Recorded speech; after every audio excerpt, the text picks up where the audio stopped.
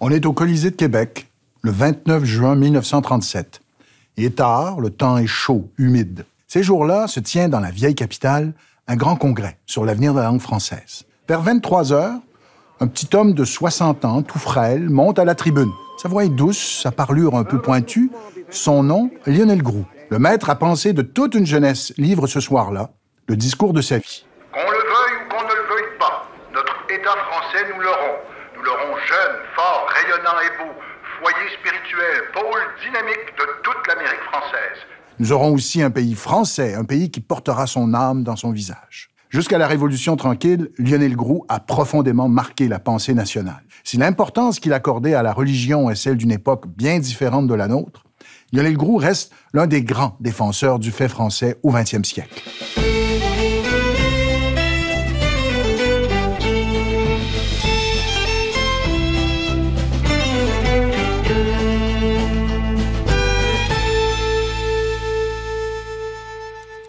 C'est toute la question qu'il faut ici brièvement sous peine de ne rien comprendre. Après des études classiques au séminaire de Sainte-Thérèse, Lionel Groux devient un prêtre éducateur et s'engage dans les mouvements de jeunesse. Son obsession, transmettre aux jeunes une meilleure connaissance de leur passé et une fierté de leurs origines. Il devient officiellement prêtre en 1903 et commence une carrière d'enseignant au collège de Valleyfield. Son engagement au sein de l'Association catholique de la jeunesse canadienne-française est à l'origine de son tout premier livre, Une croisade d'adolescents, publié en 1912. L'année suivante, dans Le Devoir, le fondateur du journal, Henri Bourassa, déplore la faible culture historique des politiciens canadiens-français. L'enseignant Lionel Groux, complètement inconnu à l'époque, prend la plume et raconte tous les efforts qui sont faits pour pallier hein, à ce problème. C'est qu'il prépare depuis quelque temps un manuel d'histoire qu'il va bientôt publier. Dès cette époque, Groux constate que le public a soif d'histoire, de son histoire nationale. Son chemin est tout tracé. Cette vocation d'historien s'impose à lui. Il devient une figure marquante du paysage intellectuel québécois. Son histoire est en marche. En 1915, il est nommé professeur d'université.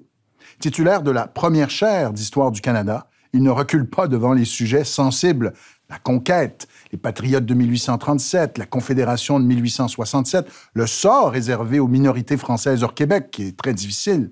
Ces perspectives d'historien dérangent les élites bien pensantes, encore très attachées à l'Empire britannique. Historien rigoureux, Gros est aussi un citoyen engagé, un intellectuel de choc. En 1922, il dirige une grande enquête sur l'avenir du peuple canadien-français dans l'Action française, une revue qu'il a fondée. 40 ans avant la Révolution tranquille, on soutient dans les pages de cette revue que l'action de l'État était essentielle pour mettre fin à l'infériorité économique. On envisage une réforme en profondeur de la Fédération canadienne et on rêve déjà d'être maître chez nous. C'est inspiré par ses convictions patriotiques qu'il prononce son fameux discours de 1937. Depuis 1867, déplorait-il, les élites politiques québécoises embourbées dans leur querelle partisane avaient perdu de vue leur responsabilité nationale. Mais il restait optimiste parce qu'il croyait à la jeunesse.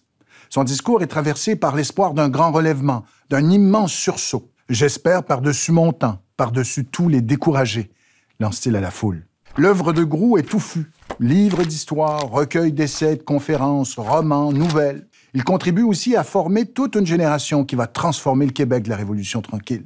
Lionel Groux a aussi été un pionnier des études historiques au Québec.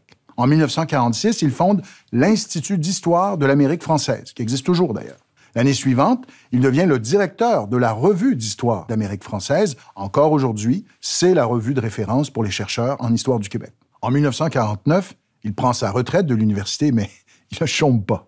La même année, il commence une série de cours d'histoire à la radio de CKC. C'est l'occasion pour lui de faire le point et de mettre à profit des années de fouilles en archives, de réflexion et d'enseignement. De quel côté se dirigerait la France?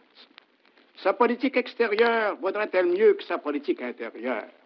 C'est toute la question du renversement des alliances au cours de la guerre de sept ans qu'il faut ici brièvement exposer sous peine de ne rien comprendre aux événements qui vont suivre. En 1950, il fait paraître sa grande synthèse, Histoire du Canada français depuis la découverte. Lionel Groux admirait les pionniers de la Nouvelle-France. Il admirait également la résistance des Canadiens français qui avaient survécu à la conquête et déjoué les tentatives d'assimilation.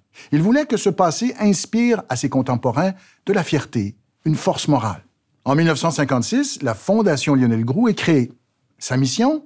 Préserver son héritage intellectuel, bien sûr, mais surtout faire connaître notre histoire. À son décès, en 1967, on décrète un deuil officiel et des funérailles d'État. C'est dire toute l'importance qu'avait ce personnage. Parmi ceux, d'ailleurs, qui portent son cercueil, il y a nul autre que le maire de Montréal, Jean Drapeau. Lionel Groux, c'est une œuvre monumentale. 11 500 pages imprimées.